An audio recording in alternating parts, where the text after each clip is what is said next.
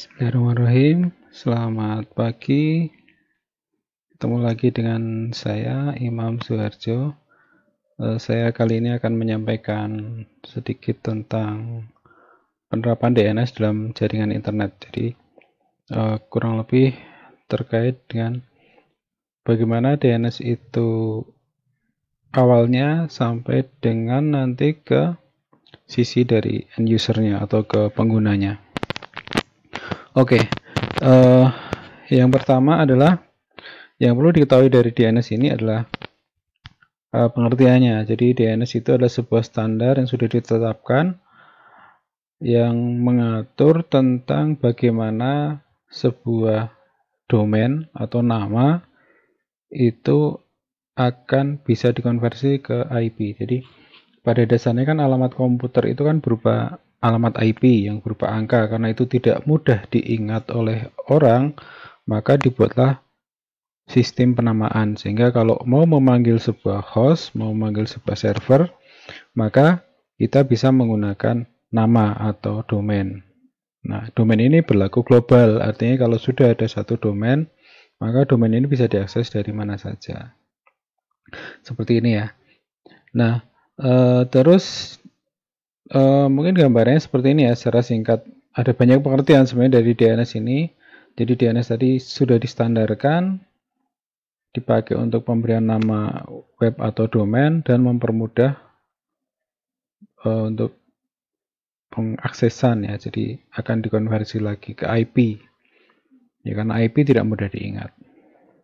Nah, dalam DNS nanti ada namanya DNS server yang dia berperan di sana.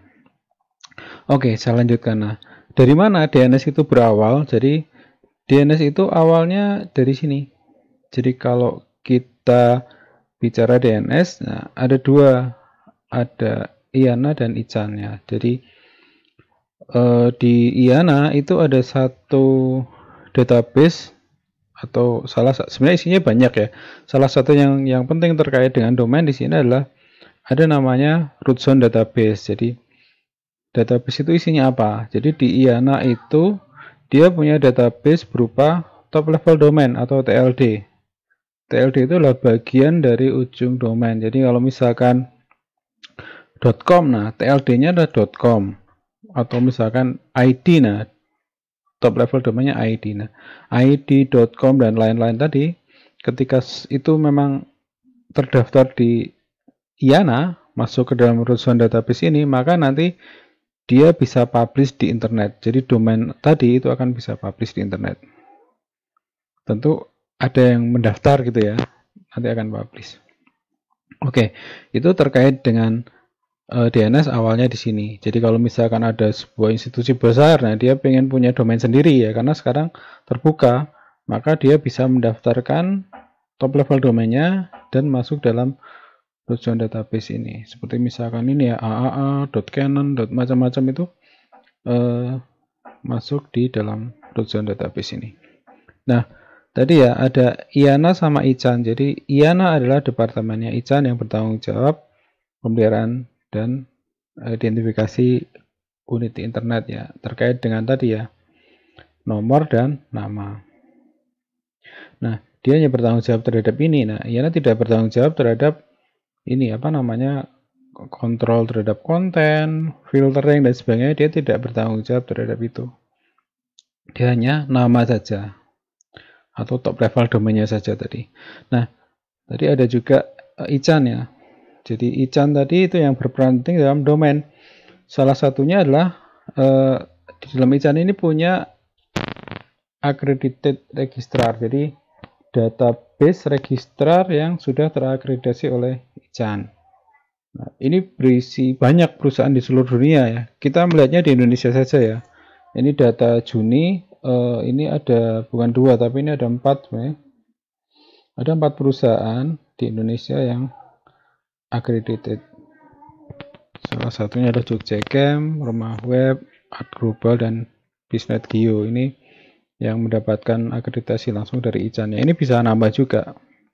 Nah, khusus untuk yang domain yang .id ini dikelola oleh Pandi ya, pengelola nama domain Indonesia. Nah, Pandi juga punya registrar sendiri, jadi mirip dengan Ican tadi, Pandi juga ada mekanisme untuk menyeleksi registrar. Ini cukup banyak registrarnya, termasuk ya ada APSI, Mabes TNI, Kominfo yang dia untuk domain Go ID. Kalau Mabes itu untuk domain yang militer. Nah, untuk domain-domain yang umum tadi .id tadi bisa ke salah satu register ini. Nah, terus bagaimana mendapatkan domainnya? Karena domain tadi e, terkait dengan DNS. Nah, salah satunya kita bisa daftar lewat registrar tadi. Nah, sebagai contoh misalkan uh, kita daftar di Jogja Camp misalkan. Ini di Jogja. Nah, Jogja Camp ini dia akredit langsung ke ICAN untuk top level domainnya. Tapi dia juga accredited untuk CCTLD atau yang .id tadi ke Pandi. Jadi dia dua seperti punya dua gitu ya. Dan dia mungkin punya banyak banyak link juga. Jadi ada beberapa karena ada beberapa CCTLD lain yang diperjualbelikan atau mungkin penjualan CCTLD melalui pihak ketiga yang yang ada misalnya. Gitu. Jadi intinya ada link-link gitu untuk bisa uh, membuat domain yang memang itu bisa digunakan secara publik itu bisa dijual. Nanti saya contohkan. Atau misalkan kita juga bisa mendaftar di uh, penyedia layanan hosting jadi penyedia layanan hosting yang lain yang tidak masuk di accredited IJAN tadi itu dia juga mungkin akan kerjasama dengan salah satu perusahaan tadi atau perusahaan akreditasi lain yang ada di luar negeri untuk bisa uh, berperan dalam menjual domain. Nah, terus ini saya contohkan ya. Misalkan ini saya contohkan ini uh, panel di reseller camp. Jadi kalau misalkan kita sudah punya domain atau kita membeli domain, itu maka kita akan punya panel seperti ini. Nah, misalkan domainnya apa gitu. Nah, salah satu yang penting dalam implementasi DNS yang pertama adalah ketika kita sudah punya domain, kita akan diminta mengarahkan domain itu name servernya mana, ke name servernya siapa. Name server itu apa ya? Nah, name server atau NS itu adalah DNS untuk uh, layanan hosting yang dimiliki oleh server hosting. Jadi misalkan uh, saya hostingnya di mana ya? Misalkan yang besar misalnya di rumah web atau di Niaga Hoster. Nah maka akan diarahkan ke sana. NS berapa ke domain tadi? NS berapa ke domain tadi? Nah di sisi server sana nanti kita akan dikreatkan domain kita. Baru nanti uh, domain itu bisa diakses dengan nama tadi ke alamat hosting yang digunakan. Nah ini saya contohkan Kok saya settingnya ke Cloudflare ya? Iya, jadi NS atau name server ini bisa saja tidak langsung disettingkan ke penyedia hosting, tapi disettingkan ke penyedia uh, apa ya manajemen domain, manajemen domain atau domain manager. Salah satunya misalkan adalah Cloudflare. Ini ada layanan gratis, ada berbayar. Jadi kita dari domain panel ini kita lempar ke Cloudflare. Nanti dari Cloudflare baru kita lempar ke hosting. Bisa seperti itu. Nah ini ya, misalkan kita punya domain namanya sedayu.net. Nah, ada di panel kita. Maka kita bisa arahkan name server tadi ke name server hosting secara langsung. Atau kalau misalkan kita punya server sendiri, nah kita bisa saja membuat name server sendiri. Jadi misalkan sedayu.net ini kita hostingnya di server kita.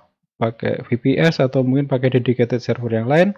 Karena dia punya IP public, kita bisa settingkan ns1.stayu.net, ns2.stayu.net. Sebenarnya tidak harus ns1, ns2 ya, bebas sebenarnya namanya. Tapi yang umum biasa dipakai orang menggunakan nama name servernya dengan nama ns1, ns2 dan seterusnya.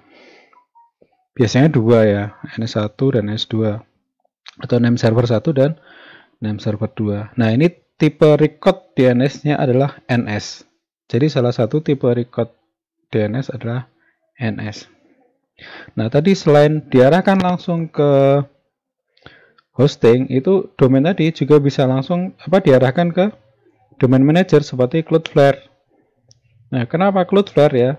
Atau kenapa pakai domain manager? Salah satunya adalah karena e, bisa dipakai untuk melindungi ya. Salah satunya misalnya Cloudflare itu ada Cloud Service. Jadi kayak web application firewall. Jadi dia bisa melindungi juga web kita dari misalkan ada spamming atau ada apa uh, trojan atau apa yang ada di web kita dia bisa uh, ada warning ya. Tapi kalau langsung tadi tidak ada. Jadi ada plus minusnya. Atau misalkan kita punya banyak domain nih di beberapa langganan yang berbeda-beda. Nah kita pengen satukan manajemennya domain tadi dalam satu server nah kita bisa pakai Cloudflare. Oke nah ini contoh di Cloudflare. Misalkan dari tempat kita daftarkan domain tadi itu dilempar ke domain manager nah, nah nanti misalkan di sini misalkan oh nah kita bikin bikin recordnya di sini di Cloudflare ini di bagian DNS nah, ini ada fitur analitik juga ada lihat traffic dan sebagainya ada banyak fitur ya. Termasuk kita juga bisa menambahkan SSL-nya di Cloudflare ya Nah, layanan CDN-nya atau layanan cloud-nya bisa dinonaktifkan bisa juga dimatikan. Ini ya. Nah tadi beberapa fitur tadi tadi yang kita sudah temukan di depan tadi kan ada NS ya. NS tadi mengarah ke domain ya. Ada juga nanti sinem sinem ini juga mengarah ke domain. Ada TXT TXT juga mengarah ke kontennya berupa seperti ini. Kalau TXT itu untuk mengarahkan uh, biasanya untuk verifikasi ya untuk verifikasi. Misalkan kita mau pakai layanan apa namanya analitiknya Google ya salah satu tipe verifikasinya bisa menggunakan metode TXT. Nah manajemen domain yang lain tadi misalkan kita sudah punya hosting nah kita juga bisa manajemen domain tadi di sini di hosting kita jadi kalau misalkan tadi NS nya diarahkan ke hosting nah kita bisa manajemennya di sini. Kalau misalkan pakai cPanel, ada namanya zona editor. Nah, kita bisa tambahkan record atau kita manage recordnya. Nah, dari domain sebenarnya apa saja yang bisa diarahkan? E, beberapa yang bisa diarahkan di antaranya lain ya, ada subdomain. Jadi kalau kita punya domain, itu kita bisa mengarahkan subdomain. Subdomain itu adalah bagian dari domain kita. Jadi misalnya kita punya domain tadi ya, contohnya uh, sedayu.net. Nah, kita bikin subdomain namanya pedukuhan pedes.sedayu.net. Inilah subdomain. Nah, terus mau diarahkan ke mana gitu ya. Kalau misalkan kita ingin dalam satu hosting yang sama, maka mengarahnya ya ke ke apa namanya domain utamanya. Tapi bisa juga kita mengarahkan ke domain yang berbeda atau bukan ke domain yang berbeda tapi ke server yang berbeda dengan misalkan sinem jadi misalkan subdomain ini diarahkan ke server 1 subdomain ini ke server 2 subdomain ini ke server 3 itu bisa. Tinggal diatur saja subdomain dan sinemnya ke mana.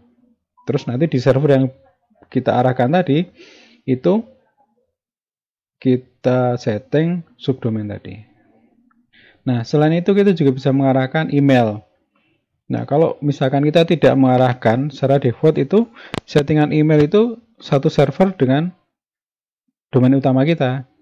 Misalkan kita tadi domain saya hostingnya di provider A, nah maka emailnya tersimpan di situ. Nah, kita juga bisa mengarahkan email tadi ke tempat lain. Misalkan ya, kita menggunakan layanan email hosting. Contohnya misalkan kita pakai Google ya, Google Apps ya atau kalau misalkan edukasi itu adalah Go, kalau dulu Google for Education atau sekarang Google Suite. Nah, kita bisa melempar email kita ke sana. Nanti ada namanya MX Record yang kita arahkan ke Google. Atau kalau layanan email yang lain nanti diarahkan ke email record yang kita gunakan tadi. Nah, ini contohnya. Jadi domain utama misalkan domain utama dan www-nya dari contoh ini ya domain utama dan www-nya kita arahkan ke IP ini. Ini domain utamanya dan alamat www-nya saya arahkan ke sini. Ini yang www. Nah, domain utamanya karena mengarah ke IP dia pakai ADNS. Nah, yang www, www itu sebenarnya subdomain ya. Itu karena ini domain yang kedua kita bisa menggunakan sinem. Jadi CNAME mengarah ke domain utama gitu. Nah, terus eh, contoh yang lain ada juga subdomain yang lain. Di sini misalnya ada kuliah. Nah, kuliah nanti mengarahnya ke server yang lain lagi. Itu memungkinkan. Nah, terus ada MX. Nah, ini ada MX record. Nah, ini tadi untuk email. Jadi misalkan di sini tadi email saya tidak saya arahkan ke IP ini atau ke domain utama, tapi saya arahkan ke Google. Nah, nanti ada konfigurasi khusus untuk kita bisa menggunakan layanan uh, Gmail. Nah, ini beda-beda recordnya untuk tiap MX-nya. Nah, ini contoh juga pengaturan yang lain DNS. Nah, DNS itu sebenarnya ada uh, tipenya tipenya banyak. Ada NS ada A ada Sinem ada MX ada TXT nah ini kita bisa atur sesuai dengan kebutuhannya. Contohnya misalkan kita membuat subdomain nih tes gitu ya. Sinem tipenya. Nah maka targetnya mau diarahkan ke mana? Ke domain yang mana? Terus juga kita bisa atur sebenarnya uh, time to live atau TTL kalau ini tidak diatur otomatis Biasanya TTL-nya nilainya segini. Ini dalam detik. 144400 detik. Atau kita bisa atur berapa menit, berapa menit gitu ya, atau berapa jam. Nah, ini fungsinya buat apa? Nah, karena DNS ini recordnya akan nyebar ke internet, maka eh, DNS tadi itu tidak selalu alamat web itu kan itu terus ya, dia bisa pindah Nah, untuk mengantisipasi itu, salah satunya DNS itu dibuat TTL sehingga ketika TTL waktu TTL sudah habis, nanti record DNS yang nyantol di uh, eh, IP DNS yang lain gitu atau di DNS resolver itu akan hilang. Kalau ada orang browsing lagi, nanti muncul lagi. Nanti saya tunjukkan di bagian akhir. Nah, ini ya, ini terkait dengan penyebaran DNS tadi. Nah, kalau penyebaran DNS dari sisi klien, misalkan komputer kita kita setting komputer di Windows atau di Linux atau di OS yang lain itu kan ada setting IP nah selain IP ada juga kita masukkan DNS server. DNS server mana yang mau kita gunakan? Nah misalkan kita langganan ISP tertentu itu ISP tadi dia biasanya punya DNS server sendiri. Atau kalau kita tidak pakai DNS server kita juga bisa pakai IP public DNS ya atau public DNS Contohnya misalkan DNS Google, Nawala DNS, misalnya Telkom punya DNS yang itu bisa publik, yang bisa dipakai, maka kita bisa menggunakan itu. Itu ya. Biasanya juga ada primary sama secondary, jadi biasanya ada dua DNS. Nah ini contohnya ya. Misalkan kita connect ke internet, komputer kita connect ke internet, connect ke router gitu ya. Contohnya ini mikrotik. Nah, ketika komputer kita connect ke internet, maka kita bisa saja menggunakan IP lokal mikrotik ini sebagai DNS, namanya DNS resolver. Nah, tentu mikrotik harus disetting DNS-nya. Jadi dia punya parent DNS atau DNS server yang mau dipakai yang mana gitu ya. Jadi misalkan IP ini ini ya, ini Telkom misalkan, nah kita masukkan. Nah, terus kita allow DNS artinya mikrotik IP lokal mikrotik misalkan di sini ada beberapa IP lokal mikrotik itu kita bisa menggunakan IP tadi itu sebagai DNS untuk klien. Nah, kalau mikrotik itu dipakai DNS-nya, maka case-nya akan hidup. Di case ini tadi ya, DNS yang ada di database dari DNS server. Kalau di sini DNS server tadi. Nah, ini data ini tidak tetap bisa tambah, bisa kurang. Tergantung orang browsingnya. Jadi misalkan ini ya satu cak.com tipenya apa, mengarah di mana, terus TTL-nya berapa. Nah ini TTL ini akan menghitung mundur sampai dengan nanti habis. Jadi kalau sudah nol ya hilang. Kalau ada orang browsing domain ini lagi, muncul lagi dengan TTL yang awal. Jadi misalkan ini tinggal 20 detik, ya nanti sebentar lagi hilang misalkan. Seperti itu. Oke, itu ya sekilas tentang uh, eh, DNS. Uh, eh, bagaimana DNS secara singkat saya jelaskan dari atas sampai ke bawah dia bisa bekerja. Nanti kalau ada pertanyaan atau apa bisa uh, gunakan komentar untuk bertanya di bawah ini. Oke, terima kasih. Semoga bermanfaat. Sampai ketemu lagi lain waktu. Assalamualaikum warahmatullahi wabarakatuh.